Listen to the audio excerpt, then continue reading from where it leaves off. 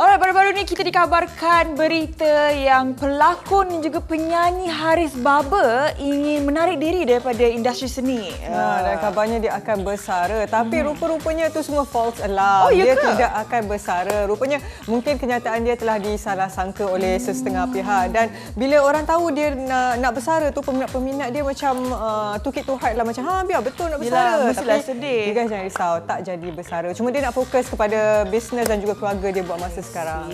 Okey, kalau macam tu apa kata kita dengar sendiri kata daripada Haris Baba?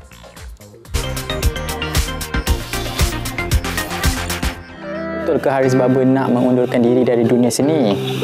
Itulah that's why sometimes bukan apalah sometimes when I say something another thing another thing is stated on the article but it's okay lah that's very normal. Like for me when I spoke to BH pun um, I shared everything lah that basically right now. Ah. I really need to back out I need to take this long break. I I want to focus on my work and my family kat Sabah but of course I don't want to fully lose out on my music. I still nak buat my cover I still nak work on songs tapi maybe not anytime soon lah I myself I don't know when yet Bila artikel yang kata you nak quit kan, macam mana peminat-peminat you respond to that? Were they angry?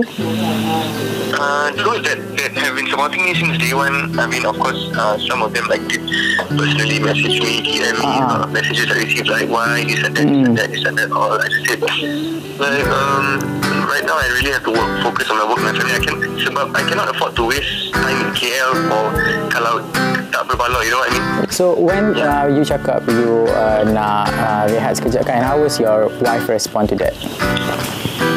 My wife punya respond is um, see, for me eh, my, my wife has been supporting me since my followers baru baru uh, 5,000 on Instagram. Mm-hmm. So she has been my, my, my backbone all along and she has really sacrificed a lot for me also in these three years that I go up and down KL, up and down KL, up and down KL.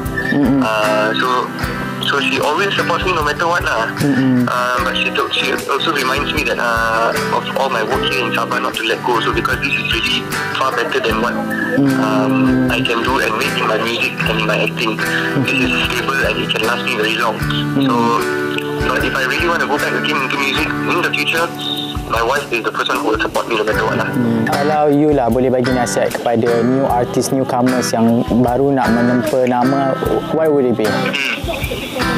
to me, it's uh, basically to me two things lah. It's either luck or it's either you work really, really, really hard. And then uh, personally, for my situation, it's different because my family is in Sabah and I, I work in KL, so all this really affected a lot. If my family is, is staying in KL with me, I can all out 100%. But for those